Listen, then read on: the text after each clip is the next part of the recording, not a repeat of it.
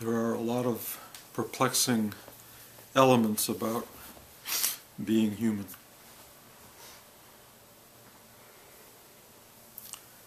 And probably the most continuingly difficult aspect is dealing with what we call otherness or others.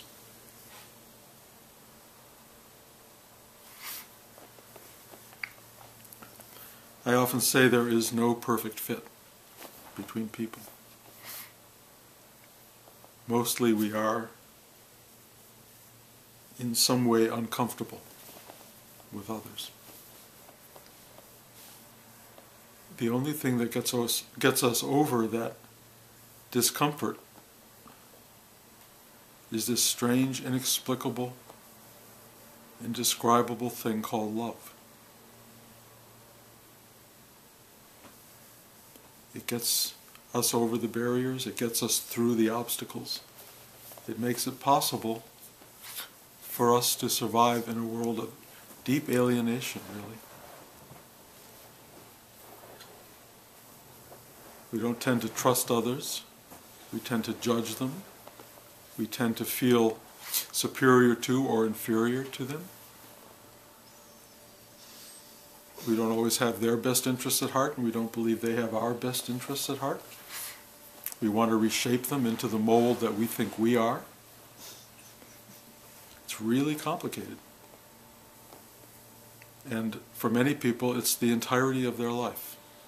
How to deal with the otherness, the otherness of their own parents, of their own siblings, of their marriage partner.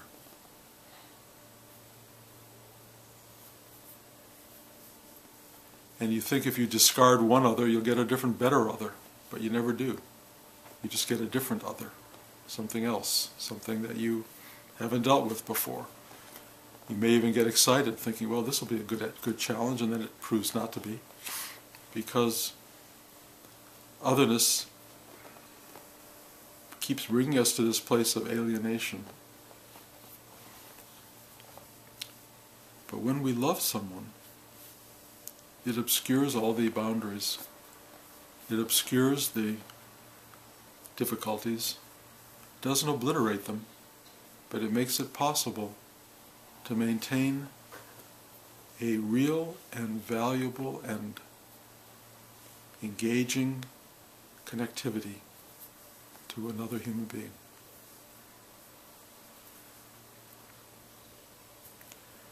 Let me also add that otherness is not simply directed at people outside of you. Perhaps one of the most profound others is our own self. How did I become this? What am I? Who am I? How do I live with this condition? How did I become six foot four and 400 pounds? How did I become this tiny little innocuous thing that walks around the world with a limp on one foot and uh, endless headaches? How did I become this? Whatever your thing is, believe me, I've heard everybody's thing. Or probably not, but I can imagine. How did I become this other, trying now to relate to still another other? Where is the alignment? How do you take this alienated persona and relate it to another alienated persona? Again, again, the answer is love.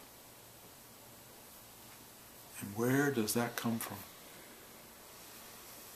Where does love come from? Well, if you want to talk about mysteries, that's the big one. And I've talked about this a lot in the class about how does brute force, matter, iron, metal, cosmic dust, how does that produce love? Saw a line yesterday that Maya Angelou wrote saying, maybe it's love that holds all that stuff together. Maybe it's the basis for everything. Maybe it's the thing in which matter actually finds itself forming. Maybe it all comes out of love. Or that cohesive force of love, or magnetism that pulls things together. What is it? I don't think we're ever going to understand exactly what it is, but I think we are going to, at certain moments in life, if we're lucky, feel what it is. Doesn't mean the mind will be able to go, oh, I figured that one out. You'll just know, I feel this thing. I feel this thing. I care about. I empathize with. I feel drawn to. I feel a commonality with or a oneness with another, an other being. And even more kind of remarkably, maybe your own alienated otherness may find this place inside that loves you, that just loves you. And if you go deep enough into that, you may discover hey, it doesn't love you, it is you. This is who you are. This strange, inexplicable force that simply is, that is unaccountable in any intellectual grasp. It just simply precedes everything. And yet, it is possible to be born from that, to have it surrounding you, to have it totally oceanically being inside you, and not to be aware of it. To actually live in the world like gross matter, fearing otherness, alienated from yourself, living in this place of total, unending discomfort. Completely caught by the physical and not aware of the metaphysical.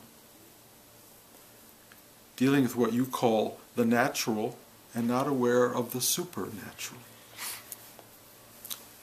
I would venture to say almost everybody lives in the materialistic, manifested reality of their life without even questioning for a minute how or why. All they know is give me Tylenol, give me whatever it is that will get me through the day, Xanax, Valium, give me the thing that will help me get through a lot of sex, a lot of whatever your thing is, and just like make it possible to find the pleasure in it. Maybe if I jump off mountains with some kind of strange wingsuit and fly to the bottom, I will find the reason for being. maybe. Maybe. You can try all that stuff. If I marry this person, have an affair with that person, do this, do that, then it will all come into focus.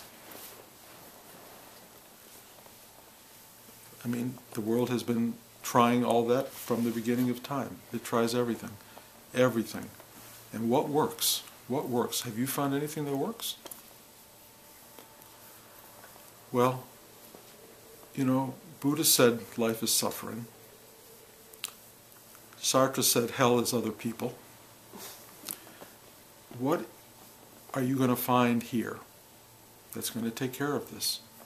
What are you going to find in this manifested state that will make it worthwhile?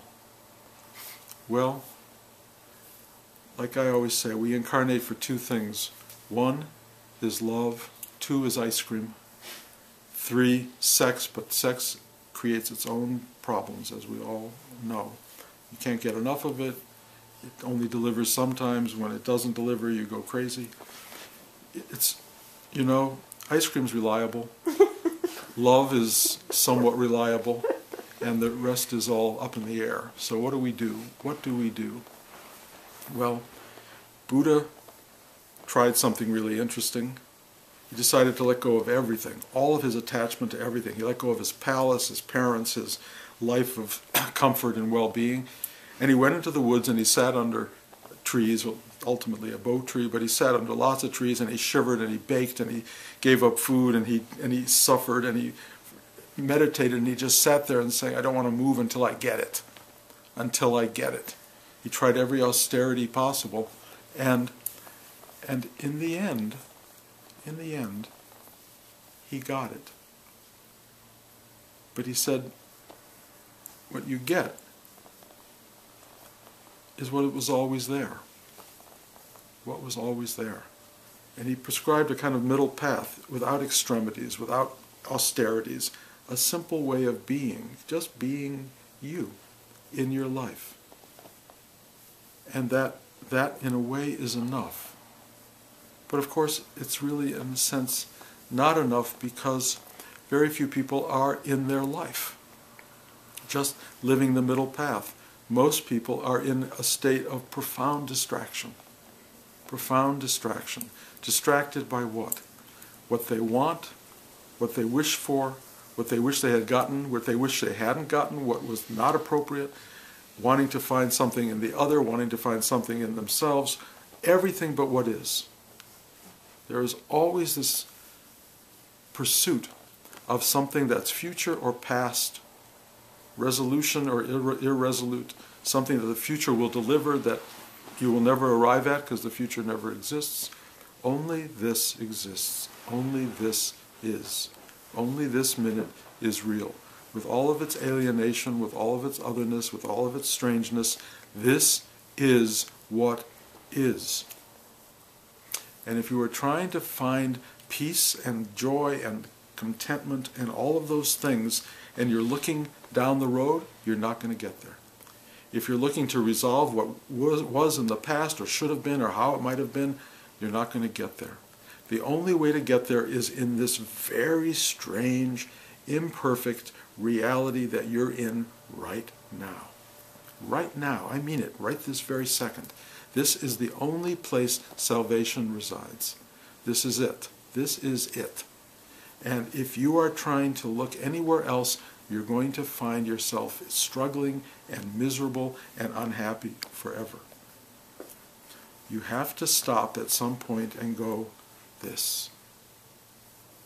And you have to say yes to it. You have to accept it exactly as it is, and it will appear imperfect and other. How do I embrace the otherness of my of my reality, of my truth, the strangeness of it, the bizarre lack of satisfaction, the fact that it has happiness and sadness almost in mixed measure, the fact that it promises so much but right at the moment doesn't seem to deliver. That makes you look elsewhere, but no, don't do that. Don't go elsewhere. Sit here. Be here. Figure it out now. And it's not figuring, it's really residing reside in this strange mixture of you. Sit in it, bathe in it, wash in it, let it cleanse you. Once you sit and embrace the what is of your life, once you embrace this, something starts to happen.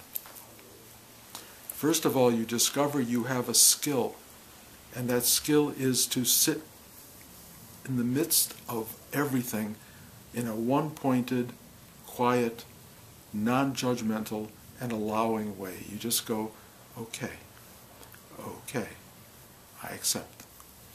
That's called surrender. I accept. This is what is. As you start to do that, the part of you that's trying to figure things out, that's frustrated with and alienated from the world, gets quiet. It just quiets down. And as it gets quiet, something else happens. You just start to go, okie doke, okay. I'll accept this. Accept. And as that acceptance takes place, the voice of non acceptance begins to lighten and even kind of evaporate. And then there you are, sitting in this alienated, uncomfortable state, but you're not alienated or uncomfortable. You're going, huh, wow, you're not even really going wow because there's no one to go wow. There's just being in that state. You're just there. You just are. And there's nothing judging it or equating it to anything else. There's nothing saying it should have been or would have been or could be or might be. None of that. You're just there. And as you sit in that space, there seems to be a force that begins to kind of both go deep, it kind of goes down, down, down, down, down, down, down, into this bigger, bigger, bigger, bigger, bigger space. And it also gets lighter and lighter, so it kind of opens and floats beyond it, and it becomes expansive and vast and encompassing, and the whole known universe, everything you've ever known that's truly other, dissolves in it. Every thought you ever had goes away. You're just there. And this thing just expands and deepens simultaneously into the space of what can only be described, if there's any word at all, as a mixture of love and ice cream. It's so simple and delicious. It's so you. It's who you are. It's what you are. Everything else is just whatever it is. But because you're no longer there judging it or wishing it to be other or seeking anything, because there's nothing better than this, nothing better than this. Great sex implies what this is. Ice cream gives you a hint of it.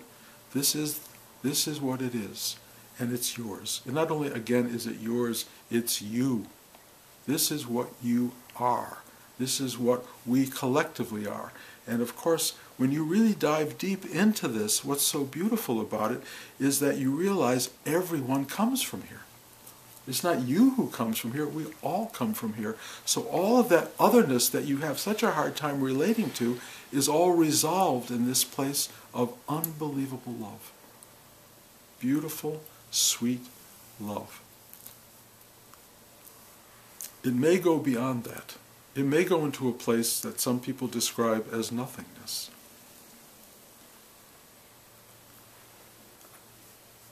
There is a sense of that, that it's nothing and meaningless. But I will tell you, you must pass through the most beautiful awareness of love and being to get there. It's a little bit like going to bed at night, on a good night. I watched my son, my grandson Elijah last night go to bed, and he had a smile on his face. He grabbed his little rabbit.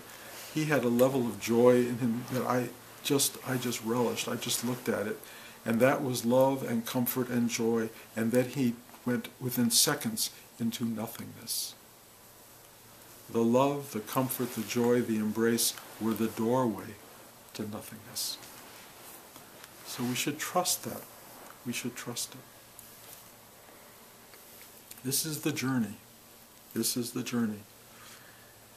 You can't get there without sitting still. You can't. Without bringing yourself to that place. You can't think your way into this. You can't be creative and find your way into it, except creativity creates a kind of timelessness that is a potential doorway. Work, day to day, eight hour work, if you really enter into it, also can become timeless, mindless. You just do it, and in the doing, you become being, and the being can take you there. But if you're not conscious of what this process is, it'll happen and you won't know how it happened or what to do about it. How do I get back to it? Well, you may think I have to just go back and do the factory work, or you have to go for your walk, or you have to do something. You don't really have to do anything. But that, in the manifested state of our reality, there is doing. And you have to kind of do something, and the simplest thing you can do is sit still and watch it you will have to deal with the craziness of your mind. And that will take your attention for a period of time. And for people who don't have enough time to give it, that may just become the distracting factor and you'll say, I can't do it. It's too hard. I can't sit still. I cannot do it. Give me a Valium. You know, and whatever it is you say.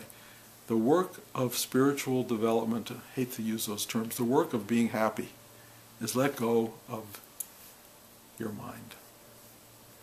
Letting go of your mind is an effort. I got a wonderful email from a man I never met the other day who came across me online. And he had this beautiful way of putting it. He said, I've always been a weekend warrior. I would do this meditation and do all this two days a week. He said, and then suddenly he said, I became, I was called to active duty. And I'm now 24 7. This is no longer a weekend practice, it's all I do. And that's kind of it, guys. It's when does that happen? When do you go from being twice a week or once a week or whatever your thing is to you know occasional I'll try this again to this is it. This is why I'm here, this is what I care for and care about. I'll tell you kind of what begins to make that take place is when you've done it even through your weekend warring enough that you start to go, nothing in the world nurtures me, fulfills me, satisfies me as deeply as those moments where I just sit still. And whatever it is that I get from that, I need to keep that alive all day and all night. And it's I know there's a you in that, and that's always the problem. You know, the you, the ego mind that wants that, actually it needs to be it needs to be broken down and ultimately dismissed. But it's your friend right now. The ego mind that wants this is your friend. Listen to it. Let it bring you to the battlefield. Let it get you engaged. Let it do all this. Ultimately, I will promise you this, it will be beaten to a pulp. And you will let it go. Or you will just say, thank you for all of your help. You've done it. Goodbye. Or the best version of that is it just leaves the scene. And there you are, as you are. I've spent a week with a few days actually with my family in Atlanta, my sister and her family, and a dear friend who just got through heart surgery, open heart surgery, and seeing a production of Ghost. Kind of a triumvirate, the things that brought me to Atlanta. the lessons I learned there are everything I'm talking about. I love my family, and, and my family, especially in Atlanta, for reasons I don't understand, loves me and they go out of their way to, to be with me. They took one of their one of them took their child out of school so we could have lunch together, uh, and they are the biggest hearted group of people you can possibly imagine. And I got there, and and my sister and I have a connection that is like pre this world. We just we know we were we were in the same family for each other, not just for no other reason really. We were there because we reflect everything I'm talking about here. She is exceedingly connected to herself. But she's also, like all of us, full of issues, full of dramas that take place around her. She had five children. Every one of those children have their issues. All now they're grandchildren. Now they're grandchildren, and they have their issues. And and I walked into the middle of all that, just issues everywhere, flying all over the place. And I couldn't believe how, how, how complicated all of our lives are. Everybody's life. And they're such big issues that ultimately, you know, you go, how are they going to get by? What are they going to do with all of this stuff? And I'm not going to, you know, betray all their confidences, but I'm telling you, heavy duty stuff all across the board. And the one thing they all have, which is phenomenal in my mind, is they are all loving, deeply loving loving of one another, loving of others. They are so loving that they're easy to love. And when we get together, we hear our stories, we do all the stuff, but we don't care. We just go into the embrace. And it is my idea of perfect life. It's what life can be. Yes, we have our dramas, and yes, we have awful stuff going on. Everybody does. But we have this containment of caring for one another that is so beautiful. And it is a kind of genetic thing in this family, I think. I don't know where it comes from. Lineage, maybe my grandmother, my Russian grandmother. I don't know where it comes from, but I know it fills out. And, and it shows me what life can be. And it also shows me what life rarely is because I look at so many people and their families and their stories and their histories, and they do not contain love.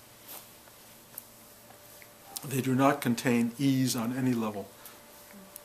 And all I can do is empathize so deeply with what that is to have a life absent love and caring, especially when you're young. Some people fight because of that absence to create it in their life or to find it in themselves, and some people are remarkable in that journey. And it's an extraordinary thing to see that happen. Really extraordinary. But mostly what I see is sort of the biblical idea that the sins of the fathers go to the seventh generation because it's so hard to break out of. If you come out of no love, you will create no love. You or you will live in no love. If your life is full of suffering, you will project suffering. It just goes on and on and on.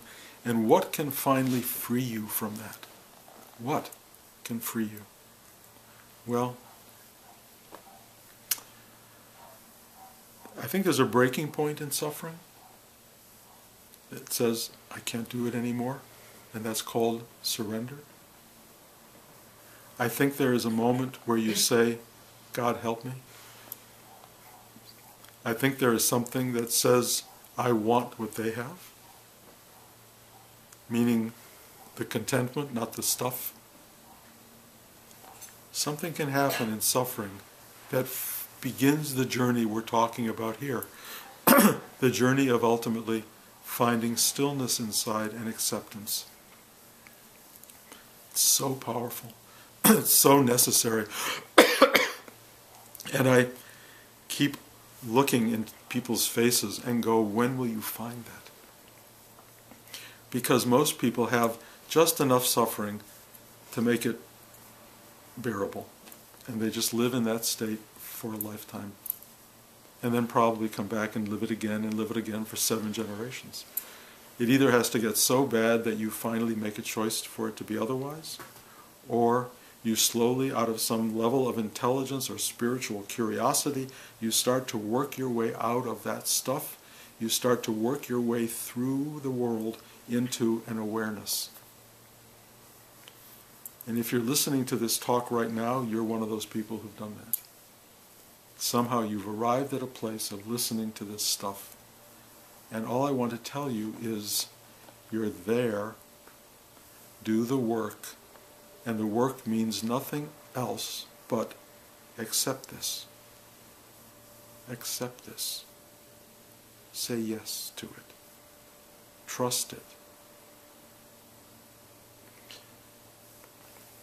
My sister and I have a very similar language, and we talk about, and I think I've talked about it here, the, the mush of life, or the soup of life.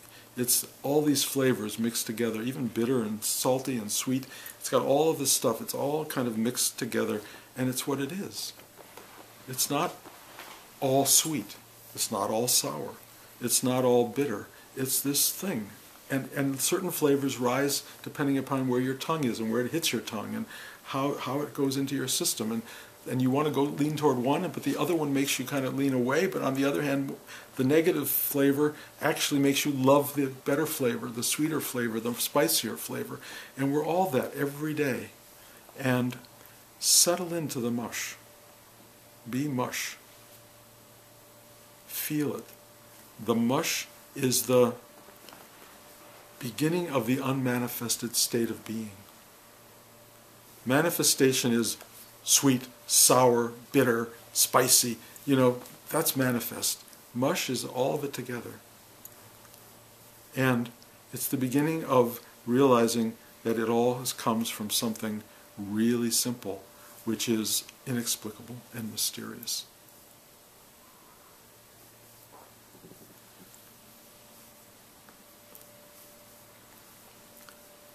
Finding your way into now into this takes one thing. You realize you're now and have always been on the front lines of your life. You're not in the background. Life is not happening out there and you're somewhere else safe and protected. You are on the front line of your own life. You're in an active service. This is real. This is not a This is not an illusion. Well, it is, but it isn't. this is your dream. This is your illusion. You've got to do battle in the front line. If you're sitting in the background letting other people fight your battles and do the war, one day you're going to realize it's yours. It's your battle. And the only battlefield is right here. So I can give you a lot of metaphors for this battlefield, for whatever you want to call it, but it's daily life. How you deal with your daily life. Do you go, do you, do you deaden yourself to it? Do you hide from it? Do you run from it? Or do you come to the battlefield? You know, most of us are afraid of battlefields for good reason, and it used to be in ancient time that we were all in battlefields. We were always on the front lines of danger, always. You know, there was always something outside the cave waiting to get us. There were always other tribes wanting what we had. There was always danger. We have created an unbelievable world where there's very little immediate danger. And we can hide in that space. Amazingly, most people in the world of no danger are more tense and anxious than people who are really in the world of danger. And I watched a pathos-inducing video from Aleppo, Syria, the other day, and these kids had four or five days of no bombing. And they had, you probably all saw this, they created these little um, amusement parks out on the street. And these kids are laughing and happy and beautiful and radiant with life in the middle of a battlefield. They knew more about real life than anyone in this room. That's living. We are in a battle, in a sense, with our own uh, fear of otherness with our own hostility to the alienation of being. That's what we're here doing. What we need to do is stand up, and the real battle is not to battle against, it's to open to. To allow all of this crazy mush of our lives to just be, and not to understand it because you won't, but to allow it to happen and then settle in quietly and feel that expansive space of love from which it all emerged into manifested form. Be that which is unmanifest, be the vastness of you. Feel the love that comes from the core of this, and no matter what your issues are, no matter how much difficulty is going on in your life and in your family, you will feel this incredible Teflon-like quality to your life that is so beautiful and so loving and so wonderful. It's so wonderful.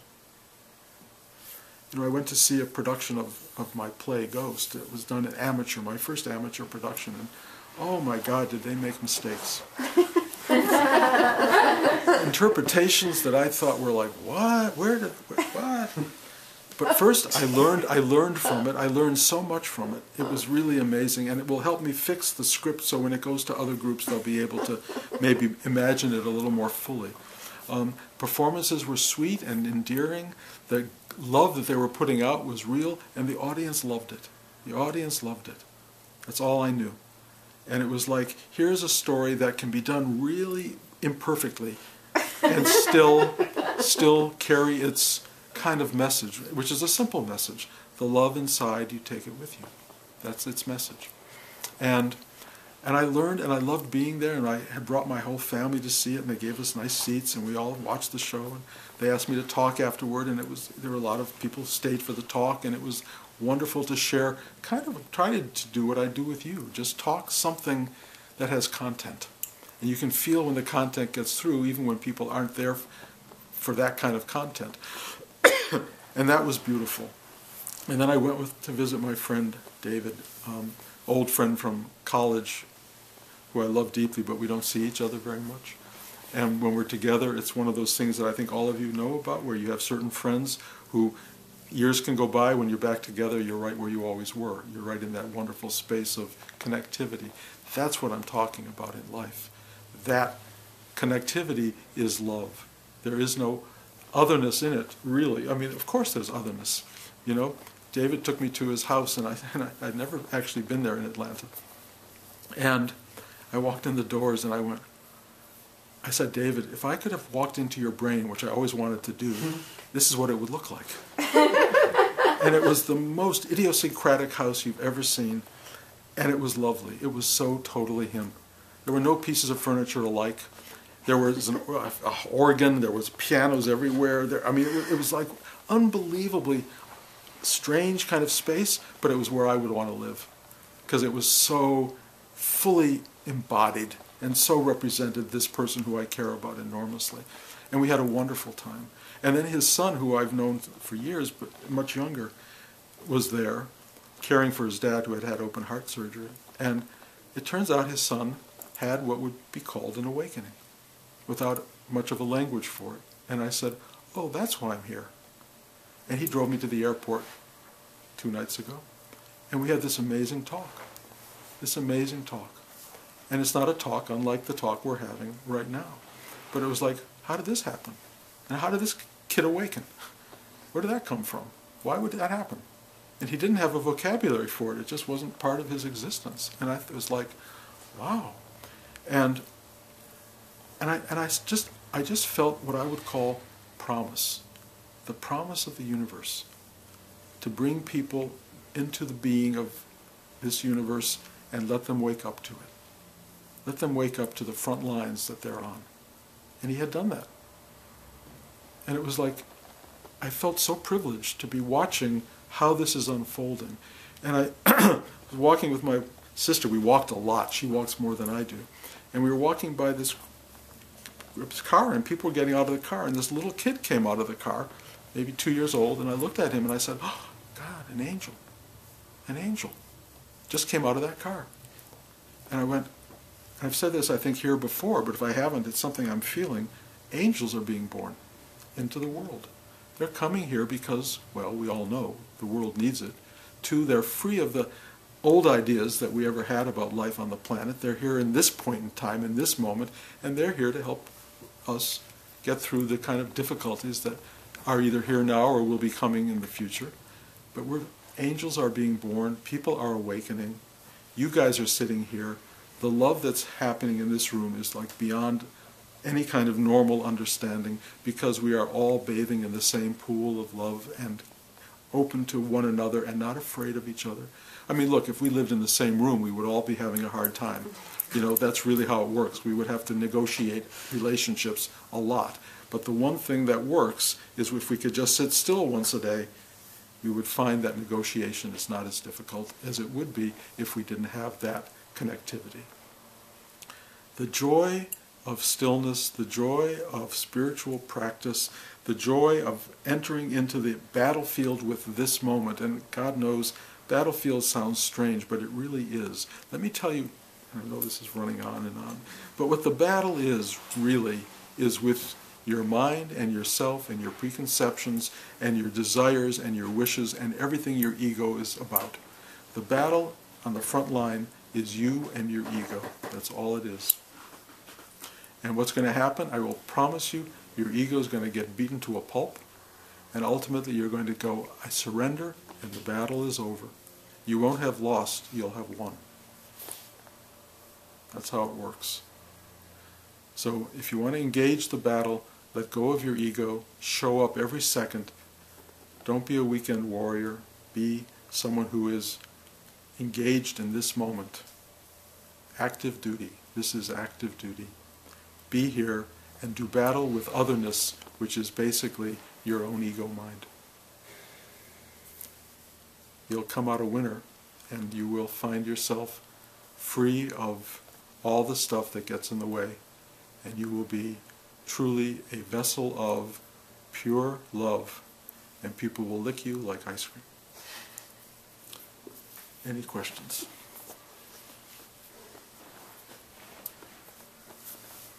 I don't have a question, but I wanted to confirm that angels are definitely being born. Um, I had the blessing of working in um, a kindergarten with um, a little boy who has cerebral palsy and he's in a wheelchair and um, his mom's talking and singing and he himself is an angel and just wants to hug and kiss all the time.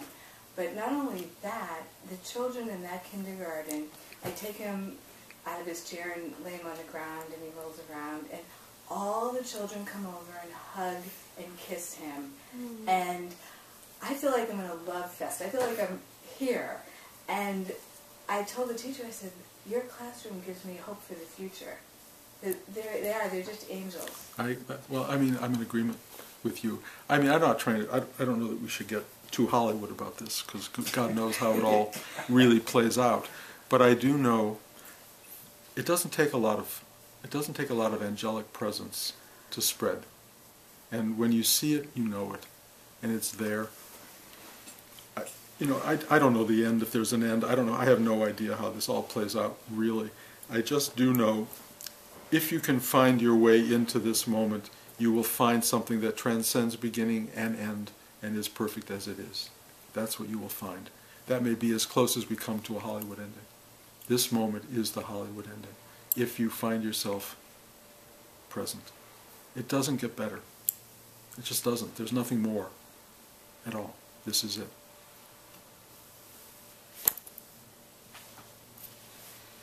I, I heard another student and somebody that teaches also uh, this practice say, many are called but few answer. And so it's kind of a silly question, I almost hate to ask it, but in your practice, how many of your students and what makes it possible that they do or, or how they go, um, that they, that they do ascend or transcend?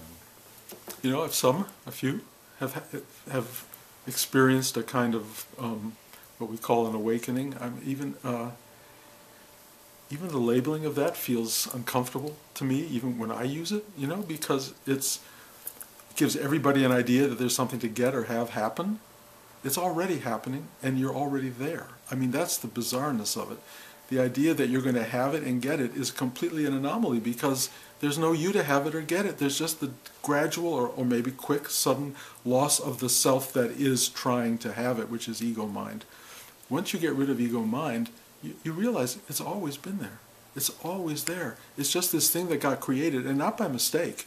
Your ego mind is not a mistaken entity. It's created for a reason, and I, have talked about it a lot here. It's part of the, the manifested world to help manifest things in the manifested world. But it's a temporary creation, and it causes suffering. It causes suffering because everything is has beginning, middle, and an end, and everything that you want is going to get destroyed, and everything you are is going to get lost. I mean, that's that's hard to live with. So we're all neurotic as can be because of that reality. Everyone I'm sitting with is, in my mind, present and there, at least in the moment that we're sitting. And that is really beautiful. And a lot of you are getting a taste of it. The big mistake most people make is saying, that's it, the beauty, the sweetness, the love of it, that's, that's if I don't have that all day long, I'm doing something wrong. And the message I keep trying to give people is there is no wrong. Losing it is part of it, just like I'd say sunlight and, and darkness, you know, night and day are part of the process. Having it go away is not a loss. It's just like the sun goes away, and what do you do? Sit there and cry all night? You just go, oh, and you know it'll come back. This comes back when it is wanted, when it's needed, when it needs to be there, it's there. What you will evolve is a sense of trust and knowing that says, okay, or thy will be done. That's what you do. And then you realize after a while, this is it. You know, this is it. And the line I use and other people have used for centuries, even this, even this is it. When that happens for you, when you switch into that gear, you're there. It's done. It's not magical. It's not, you know, it's not like, oh, I awoke and now I am the powerful one. That's if that happens, then you've you haven't awoken and you're not the there's no powerful one. Everyone is either that or not. And my book, everyone is that. They're just walking around in a cloud. And all I want to do is bring you into some focus. And every class, everyone in this room arises or arrives at a kind of focus. And for a moment, it's very clear. The fact that it gets lost is just patterning and habitual stuff, and the mind goes back into its other kind of crazy space. I know that that doesn't mean you have lost it. It just means that, yeah, it's, it's drifted away. But it's okay. It's okay. The great thing about weekend warriors and 24 hour, seven day a week active, active warriors, if you will, is that they fight to keep, to keep awake. They just they're con- they're really at it, really at it. And some people in this room are that, and some are getting there. That's all. That's that's kind of how it works. I really I don't keep a ledger. My job is not to make it happen. My job is just to sit here and make these talks, I guess, or to share the energy which which we share, and and I'm willing to do it because the universe puts me here. You know, I'm also as I've said a thousand times, just as willing not to do it. I don't need this. I really don't. I don't. I don't. I don't need it. I love it. I love it. I love being with you. But I love being with anyone, even if they don't know I'm being with them. You know, I sit with people all the time. They have no clue that I'm showing up. But I'm sitting there loving them and honoring their truth, even when it's not a truth they like. It's really, you can do that, and it makes life remarkable because I'm with a lot of otherness that I don't sit there in judgment of. I just go, yes, even this. And I bring it in, and I love it. And I love them. And that actually nurtures them. Because to sit somewhere and not be judged by somebody, not to be found higher or lower or lesser or other, is kind of all we want. To let people look into our souls and not go, you know, every one of us, for the first four inches in, is pretty, it's, it's, you know, it's, it's pretty, uh, pretty ugly, in truth, you know. But you get past that, it starts to get beautiful. It really does. I, I can't tell you how bizarre people are. I mean, that, that's the thing that gets me more than almost anything, is we are weird. You know, Rudi called this place the, the insane asylum of the solar system. And it is. And you're not, you wouldn't want to spend 10 minutes with most people if it was really dealing with their surface. But the minute you get past the surface, you want to spend your life with him. You do. So that's the answer to your question. I don't have numbers for you.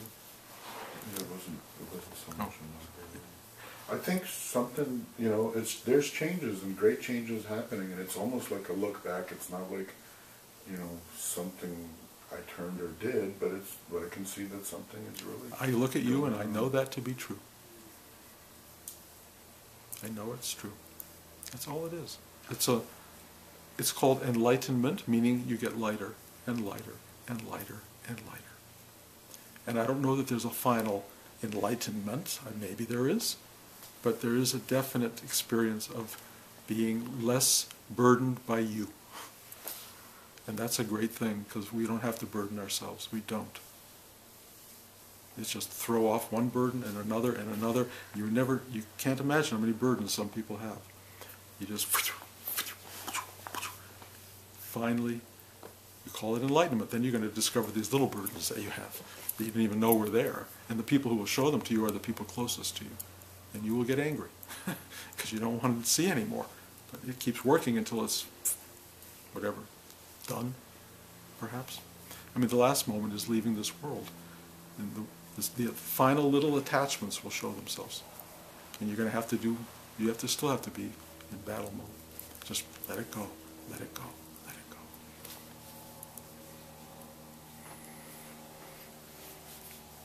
Sure.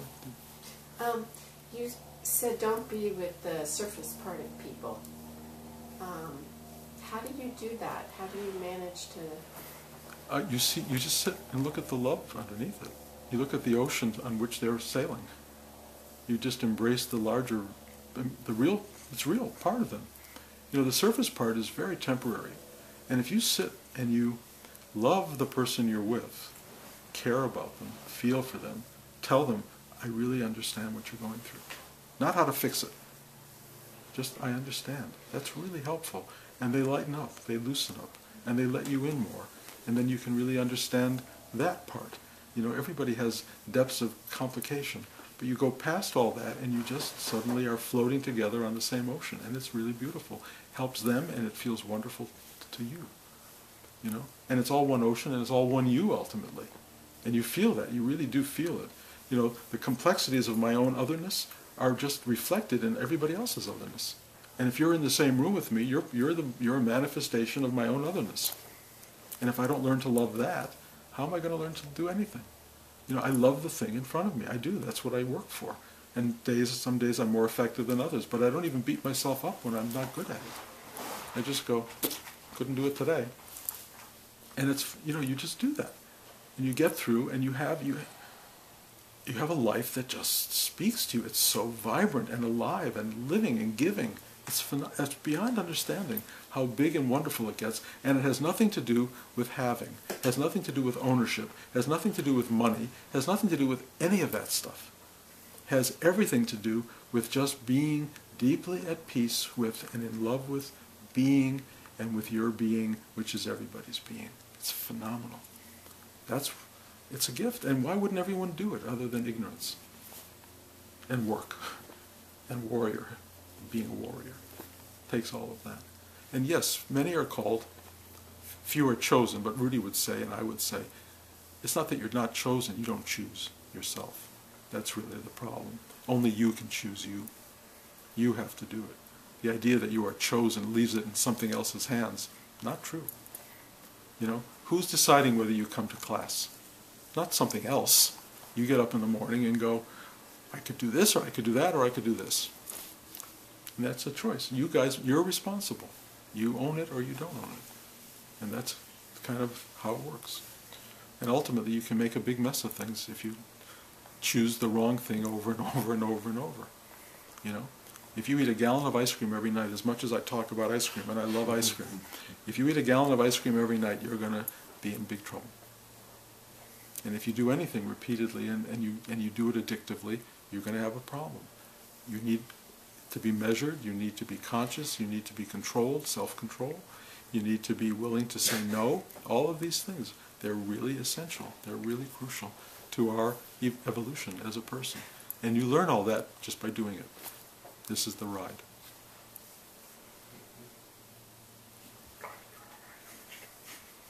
Okay? Okay. Are you, are you holding a question? No. Okay. Um, uh, you know, we're not here next two weeks. Next week's L.A. Week after that is um, Big Indian, and then we'll be we'll be back here in so three weeks. And I look forward to seeing whoever shows up. Thank you.